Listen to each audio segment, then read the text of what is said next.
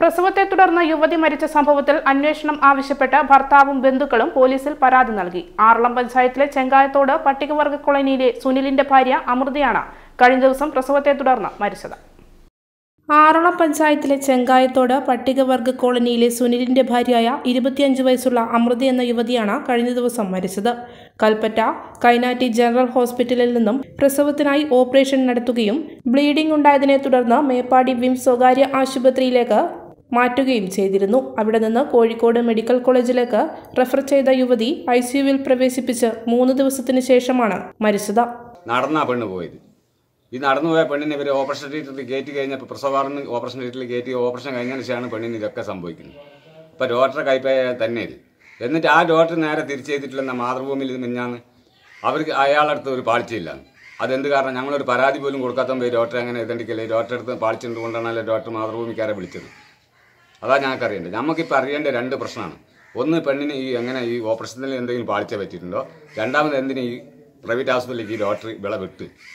നമ്മളെ മോളെ വിട്ട്. അതാണ് നമുക്ക് അറിയേണ്ടത് മൂന്നാമത്തെ കേസ് എന്താണെന്ന് വെച്ചാൽ ഈ മയക്കുമരുന്ന് കൊടുത്തിട്ട് സാധാരണ മയക്കുമരുന്ന് കൊടുത്താൽ ഒരു രണ്ട് മൂന്ന് മണിക്കൂർ കൊണ്ട് ഏത് ഓപ്പറേഷൻ ചെയ്യുന്ന കുട്ടികളും ബോധം തെളിയും. ഇത് ആറ് ദിവസം ഐ സിയിൽ കിടന്നിട്ട് ഈ കുട്ടീന്റെ ബോധം തെളിഞ്ഞിട്ടില്ല. മരിക്കുന്നതും ബോധമില്ലാതെയാണ് കുട്ടി മരിക്കുന്നത്. ഈ കൈയും കാലും മാത്രമേ ഉണ്ടായിരുന്നുള്ളൂ. ആറ് ദിവസം. ഈ രണ്ട് കേസ് മൂന്ന് കേസെട്ട് ഞങ്ങൾക്ക് നിർബന്ധമായിട്ടും അറിയണം. അത് അതിന്റെ ഇടയ്ക്ക് ഇവർ അവിടെ നാല് കേസിട്ട് നടന്നിന് പോലും. നാലാമത്തെ പോലും നമ്മളെ മോൾ. മൂന്ന് കേസിട്ട് അതിന് മുമ്പേ നടന്നു. പക്ഷെ അവിടെ അന്വേഷിക്കാൻ ആളില്ലാത്തതുകൊണ്ട് ഇവർക്ക് അത് സോങ്ങില്ല. ഇവിടുത്തെ ഡോക്ടർ കൈക്കൂലിക്ക് വേണ്ടിയിട്ടാണ് ഈ പ്രൈവറ്റ് ആശുപത്രിയിലേക്ക് വിടുന്നതെന്ന് നമുക്ക് ഉറപ്പുണ്ട്. അത് നിർബന്ധമായിട്ടും അതിനെപ്പറ്റി അന്വേഷണം വേണം. മന്ത്രിമാരായാലും എം എൽ എമാരായാലും ആരായാലും. കൽപ്പറ്റ എം എൽ എക്കും ഒന്ന് നമ്മൾ ഇന്നലെ വന്നപ്പോൾ പുള്ളിനോട് പറഞ്ഞിട്ടുണ്ട്.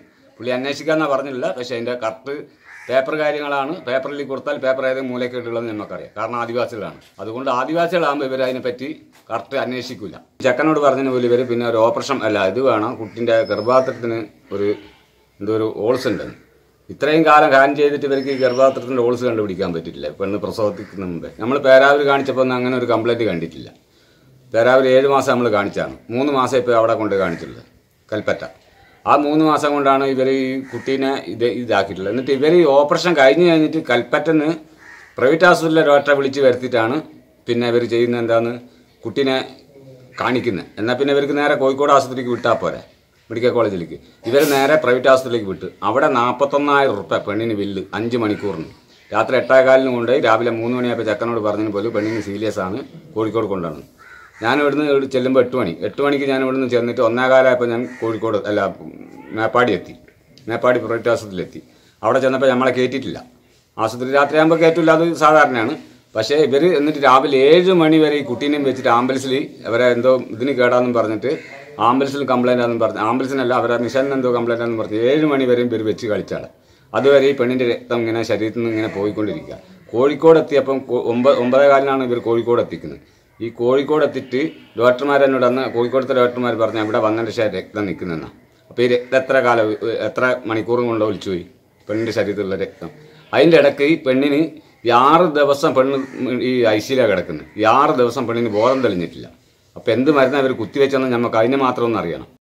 കൈനാട്ടി ജനറൽ ഹോസ്പിറ്റലിലെ അധികൃതരുടെ പിഴവാണ് മരണത്തിന് കാരണമെന്ന് സംശയിക്കുന്നതായി ചൂണ്ടിക്കാട്ടിയാണ് ഭർത്താവ് സുനിലും ബന്ധുക്കളും വയനാട് എസ് പിക്ക് പരാതി നൽകിയത്. ഭാര്യയുടെ മരണത്തിൽ സംശയമുണ്ടെന്നും അന്വേഷണം നടത്തി നിജസ്ഥിതി പുറത്തു കൊണ്ടുവരണമെന്നും പരാതിയിൽ പറയുന്നു.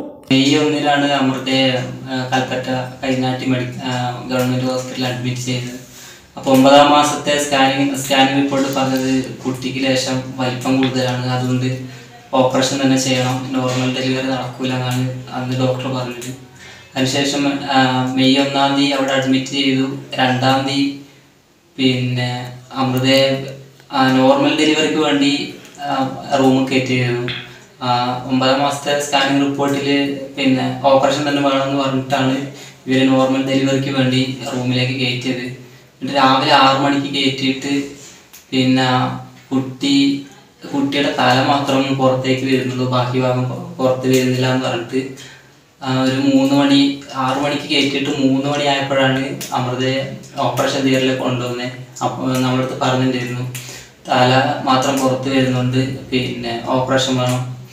അപ്പോൾ ഓപ്പറേഷൻ തിയേറ്ററിലേക്ക് മൂന്ന് മണിക്കാണ് കൊണ്ടുപോയത്. ഒരു മൂന്നര ആയപ്പോഴേക്കും കുട്ടിയെ പുറത്തെടുത്തു. പക്ഷെ അമൃതയ്ക്ക് ബ്ലീഡിങ് നിൽക്കുന്നില്ല എന്ന് പറഞ്ഞിട്ട് ഒരുപാട് രക്തം പോകുന്നുണ്ട് ബ്ലീഡിങ് നിൽക്കുന്നില്ല എന്ന് പറഞ്ഞിട്ട് ഡോക്ടർ നമ്മുടെ അടുത്ത് പറഞ്ഞിട്ടുണ്ടായിരുന്നു. പിന്നെ അമൃതയുടെ ഗർഭപാത്രത്തിന്റെ അടുത്തായിട്ട് ഒരു അറ പോലെ കാണുന്നുണ്ട് എന്നൊക്കെയാണ് ഡോക്ടർ എന്ന് പറഞ്ഞത്. അത് മനസ്സിലാകുന്നില്ല വേറെ ഡോക്ടർ ഡോക്ടറെ വിളിക്കണം എന്നൊക്കെ പറഞ്ഞു എന്നിട്ട് മേപ്പാടി വിംസ് മെഡിക്കൽ കോളേജിൽ നിന്ന് പ്രൈവറ്റ് ആണ്. അപ്പൊ അവിടുന്ന് ഒരു ഡോക്ടറെ കൊണ്ടുവന്നിട്ടാണ് അമൃതയെ പിന്നീട് നോക്കിയത്. അപ്പോൾ ആ ഡോക്ടർ വന്നിട്ട് ഒരു പത്ത് മിനിറ്റ് കഴിഞ്ഞപ്പോൾ നമ്മളൊക്കെ പറഞ്ഞു അവിടുത്തെ അവരെ വിംസ് മെഡിക്കൽ കോളേജിലേക്ക് നമ്മളത് പെട്ടെന്ന് മാറ്റണം. നമ്മളടുത്ത് ചോദിച്ചിരുന്നില്ല അവിടുത്തെ കോഴിക്കോടൊക്കെ കൊണ്ടുപോകണോ? വേറെ എങ്ങോട്ടും മാറ്റണം? അതൊന്നും ചോദിച്ചില്ല.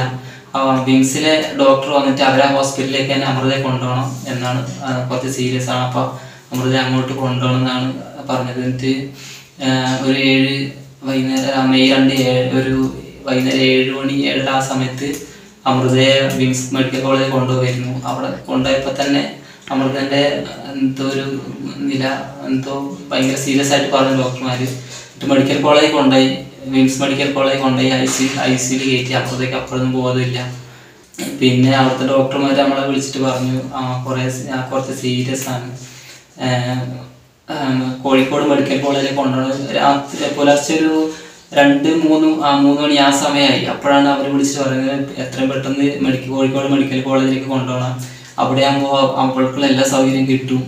ഇത് കൈനാട്ടി ഗവൺമെന്റ് ഹോസ്പിറ്റലിൽ തന്നെ അവരെ അങ്ങനെ കോഴിക്കോട് മെഡിക്കൽ കോളേജിലേക്ക് മാറ്റിയായിരുന്നെങ്കിൽ അമൃതയ്ക്ക് ഒന്നും സംഭവിക്കില്ലായിരുന്നു.